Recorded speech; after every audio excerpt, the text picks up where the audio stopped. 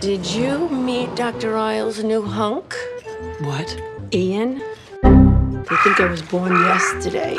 He spent the night. Okay, Mom, that's really none of your business. Ian spent the night? Mm-hmm. Didn't she tell you? Yeah. Yes. Okay, thanks.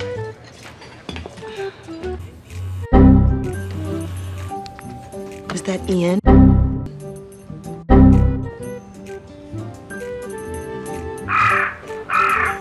Uh, let's go and take a look at the victim's nails. Oh, let's.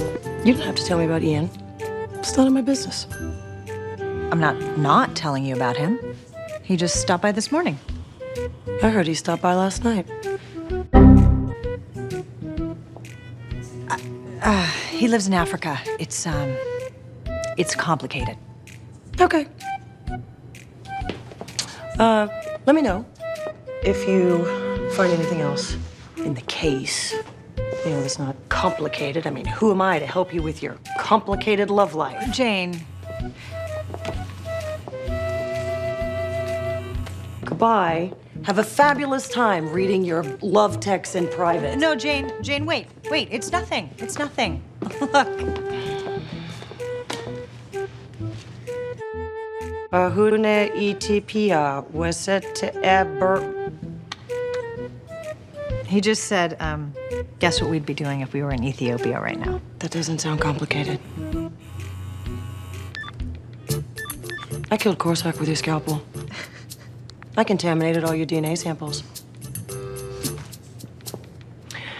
I snuck into your closet and I put all your shoes in different boxes. What? Never mind. What? No, Jane, Jane, wait, wait, wait, I'm sorry. Let me at least take a look at your foot.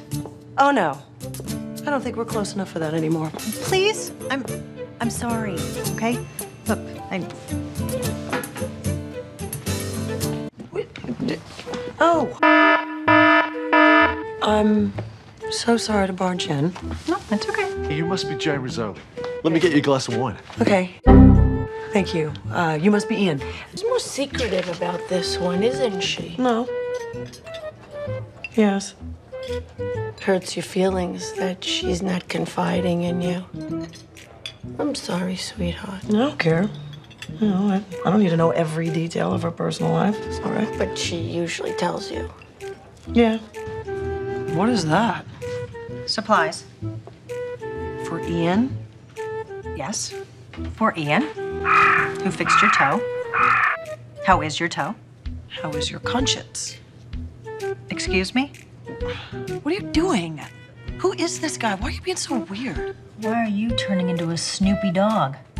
Do you mean Snoop Dogg or Snoopy the dog? Either way, I'm insulted. Too insulted to find out what killed your rats?